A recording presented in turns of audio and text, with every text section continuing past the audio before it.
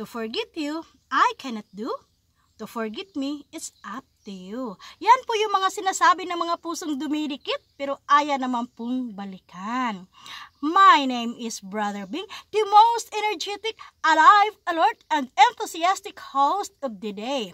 Please stay tuned, be with me, subscribe, and ring the bell for my channel, Brother Bing on Air.